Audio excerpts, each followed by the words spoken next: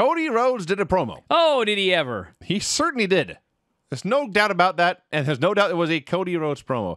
First of all, he comes out, he's got a suit and he's got his TNT belt, and there's a 12 foot ladder just in the ring already set up. 12 foot.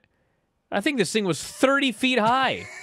Bro, they had a hard cam shot, and I never saw the top of the ladder. Not once on this show did I see how high that ladder was. Because the ladder just, you presume where it is, because the ladder goes like this, and you can, you know, your brain can fill in the rest of the ladder. Extrapolate angles. But I never saw the top of it. So it's possible the ladder was angled and then shot straight up and was 100 feet in the What air. What a horrible ladder that would be. Yeah, like one of those Bugs Bunny cartoons. But this was a tall, tall fucking ladder. And I thought they better not be using this particular ladder next week, or one of these two guys is going to get hurt. That would be bad. That would be bad. So my first thought was, even before we started talking, this whole rigmarole with the interim champion for 10 days, or whatever it is, why why do they have to bother doing an interim champion? Was this just because Cody wanted to do a ladder match and that was their way to set it up? Well, no, because they. It had, it's because of the Battle of the Belts. I mean, I, I, I think they just wanted to do something different. I mean, Different can be worse. Well, yeah, but I mean, they they. Okay, so I presume I could be wrong, but I just presume that Sammy is going to win this ladder match. So that would tell me that the plan, for whatever reason, was that Cody was going to beat Sammy and then lose it right back to him the next week at Battle at the Belts. But he didn't. So I guess our option was, well, he could he could if Cody's going to be gone, he can vacate the title, and the winner of Sammy and and uh, Dustin is just the champion. And then what do you do? You just do another match anyway. But then what's what's the impetus for doing a ladder match? There is none. Or hey, what the hell? We'll make an interim title. Sammy wins that, and then we put both belts at the top of a ladder, and and uh, the winner is the uh, unified champion. So I think that once Cody got COVID, I think they just thought of all of the different options, and clearly, I don't think this is obvious. This is the one they thought would be the best idea. But it is baffling that we got a interim champion when the other guy is going to be out a week. Also baffling most of this promo. By the way, you remember when when uh, they did that unified title and we were going, why would you put a make a unified championship where the guy's only even gone a week? And I had to listen to everybody tell me, bro, we don't know how long he's going to be gone. He may be gone a month or two months. He was gone a week. Just want to get that in there. So he begins by discussing, of all things, CM Punk's pipe bomb promo, which is now 11 years ago. Well, he had a point to this. He did. Crowds drowning him out, telling him to shut the fuck up. So Punk talked about New Japan Pro Wrestling and Ring of Honor working for the Young Bucks, but he never actually did any of those things. Cody did. He fought the Monopoly. He wrestled in New Japan and Ring of Honor and fought the Young Bucks. And every one of you cheered, he says. He repeats his claim, I will never turn heel because you cheered me when I needed you most. I always love it when a guy in the ring tells me he won't turn he, he won't turn heel. He he had some great lines. You know what's amazing, Vinny? You didn't you didn't like this uh, the early part of this promo, did you? I I did not. He did some great lines in the middle and end. I I just think it's funny because what he was doing here was uh, I don't know if take credit is the right term, but you know Punk wanted to be a revolutionary, but he was a revolutionary. Uh, Chris Jericho opened the forbidden door with New Japan, but he's arguing he actually did it first when he left and went to Ring of Honor and everywhere else.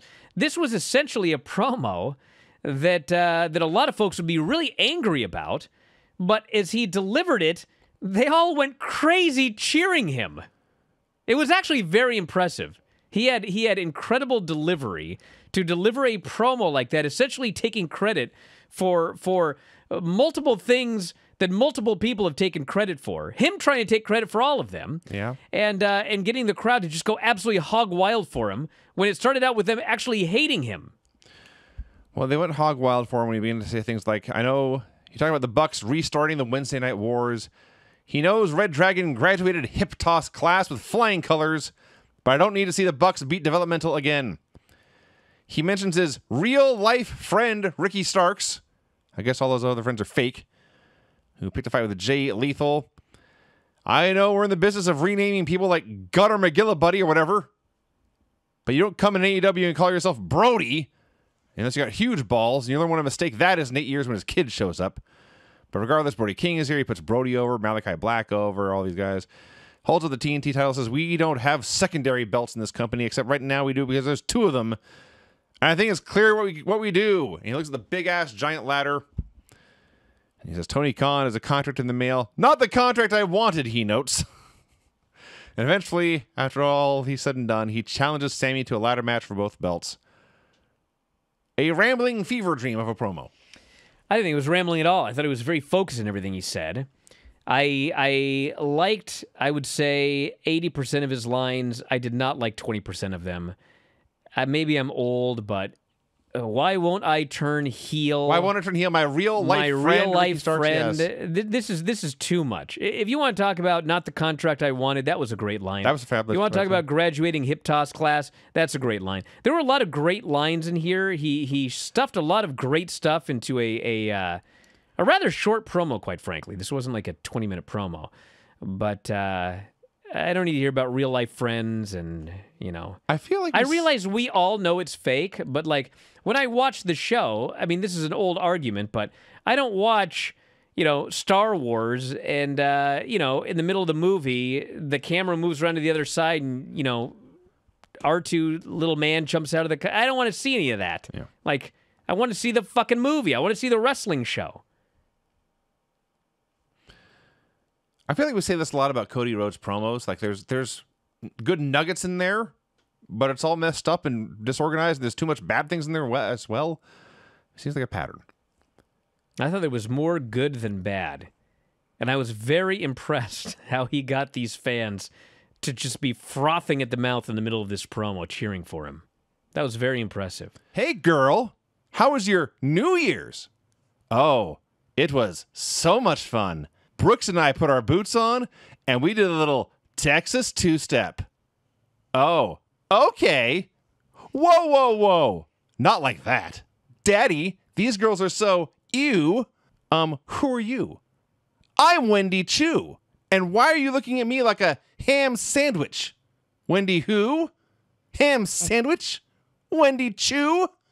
Then it ends. Bro, that was like easily a thousand times better than what they did. If you enjoy these videos, for just $7.99 per month, you can enjoy full length editions of The Bryan and Vinny Show, Wrestling Observer Live, Figure 4 Daily with Tom Lawler and Lance Storm, the Mad Men podcast, Speak Now Pro Wrestling with Denise Salcedo, and more, plus hundreds of archived shows, all in beautiful HD. Don't miss out. Join us today.